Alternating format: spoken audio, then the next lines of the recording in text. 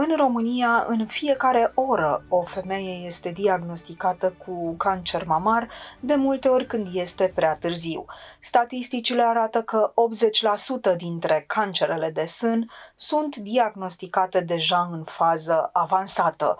La fiecare trei ore, o femeie pierde lupta cu această boală.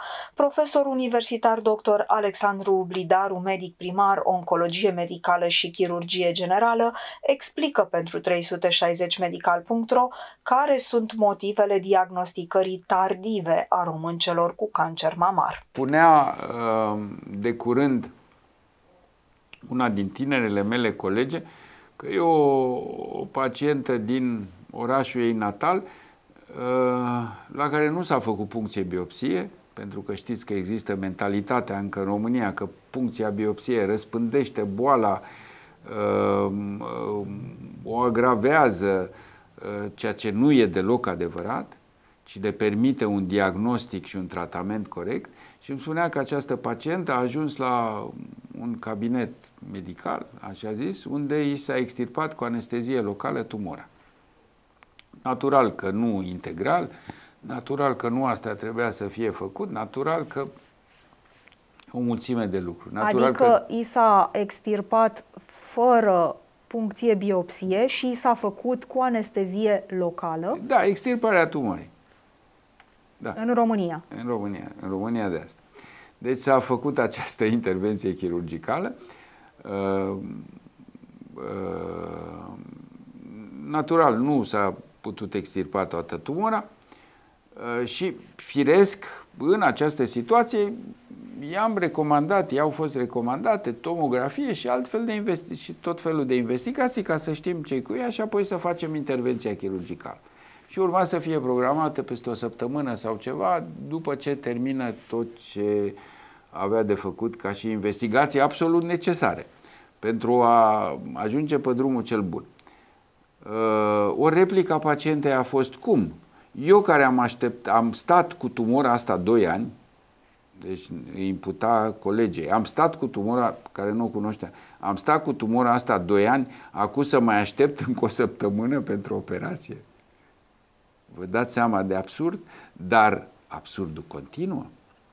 Pentru că a fost internată, discuția asta era într-o joi sau ceva, a fost internată într-un mare oraș din vestul țării, duminică, ca luni să fie intervenția chirurgicală efectuată, fără niciuna dintre investigații. Și deci e normal? evoluția, nu, deci evoluția aceasta halucinantă continuă. Nu, nu e normal. Nu e normal. Nu e normal uh, să faci fără puncție biopsie Nu e normal fără știu. puncție biopsie, nu e normal fără să faci o intervenție chirurgicală sau un tratament fără un diagnostic complet. Uh, nimic din toate astea. Lucrurile trebuie gândite. Altfel, e un, un tratament nici măcar al secolului trecut, al secolelor trecute. Dar știți, se spune adesea și pacienții aud asta, cancerul nu așteaptă nu este timp. Da, și... da, sigur că da. E, nimeni nu zice să, să, să treacă luni de zile până la operație, dar când e vorba de zile sau săptămâni, s-a demonstrat că nu are nicio importanță. Deci e mult mai important uh, să faci uh, investigațiile corecte, să ai un diagnostic uh, clar decât să faci precipitat un tratament sau mai ales o intervenție chirurgicală. Nu vorbim de teste genetice, vorbim de uh, mastectomie, vorbim de reconstrucție. Păi, trebuie să ai, să faci investigațiile astea. Vorbim de pregătire pentru ganglion și antinelă și așa mai departe. Și mai ales absurdul situației, e vorba de femei care știu că au o tumoră la sân de câțiva ani de zile uh, și brusc Uh, după ce tumora e voluminoasă, vor uh, ca intervenția chirurgicală salvatoare să fie în următoarele zile, dacă nu foarte puține.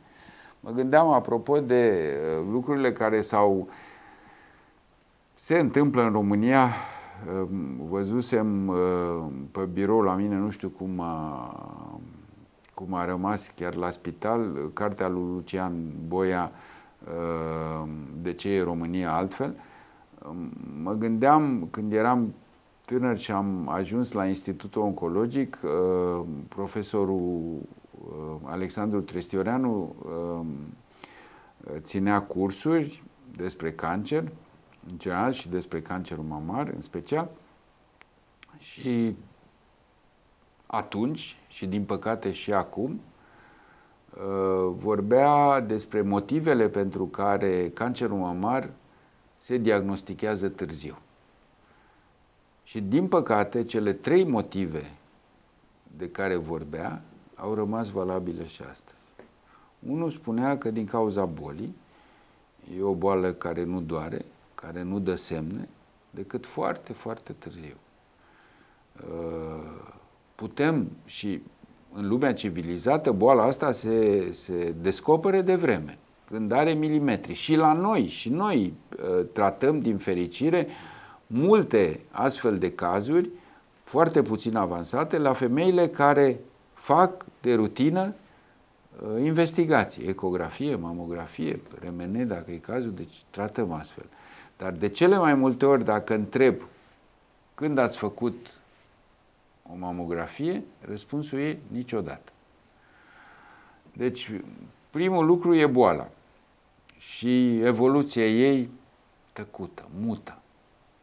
De cele mai multe ori femeile care vin la consultații uh, se plâng de dureri la sân și sunt speriate de cancer. Și de cele mai multe ori aceste dureri nu sunt legate de un cancer. Ba chiar mă gândeam că dacă cumva ai putea să-i, adași, să-i atașezi cumva uh, un, un stimul dureros cancerului de când uh, începe să apare, ai putea să știi că e ceva. Deci, unul din cauza bolii. Doi din cauza pacientului, care deși vede că e ceva anormal, nu se duce și face nimic sau nu se duce preventiv. Și e de înțeles, e greu să te duci la doctor, e greu să te duci la doctor când nu ai nimic, e greu să te duci la doctor când e speriat că ai avea ceva. Și când e departe. Dar, Pentru că nu avem oncologi în toată țara distribuiți. Da, dar nu trebuie să ajungă la oncolog, trebuie să ajungă la să facă o ecografie sau la o mamografie. Deci, nu, partea de, de, de, de accesibilitate și de distanță parcă n-aș pune pe primul loc. Partea psihologică, eu o înțeleg. Nici mie nu-mi place să fac uh, deloc investigații. Așa e. Și e un factor de stres, dar care, din păcate, trebuie depășit. Și tot uh, atunci vorbea profesorul Trestioneanu că al treilea motiv pentru diagnosticul târziu e medicul. Și era valabil atunci și, din păcate, mai e valabil și acum. Văd paciente care au făcut o ecografie sau care au făcut o mamografie și care uh, li se spune că nu-i nimic, li se spune și povestea aia care a rămas așa tradițional, e ceva hormonal, nu știu ce înseamnă asta, dar a rămas.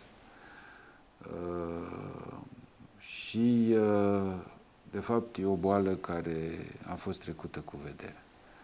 Deci astea trei lucruri au rămas în continuare. De asta, de multe ori, pacientele le văd și uh, după ce văd toate investigațiile și le și examinez, știi, le zic, cred că ar trebui o mamografie. Dar am făcut o mamografie.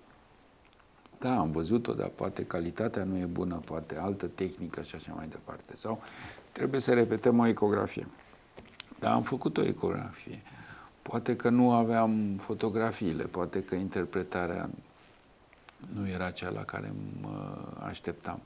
De altfel, înainte de operație, în dimineața operației, pacientele sunt din nou examinate, li se face ecografie, dacă e nevoie din nou mamografie și unele dintre ele se miră și le spun de, de vorba aceea care nu mai știu dacă se mai uh, practică în croitorie, că acum toate sunt uh, de-a gata, că în croitorie trebuie să măsori de două ori și să tai odată.